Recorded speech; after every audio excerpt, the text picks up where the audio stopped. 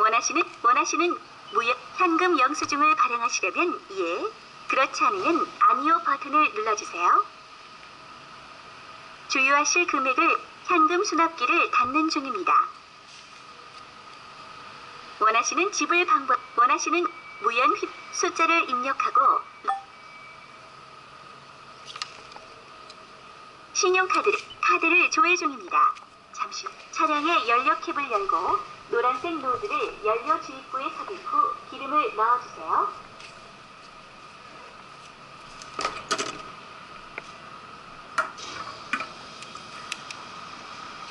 주유를 시작하였습니다.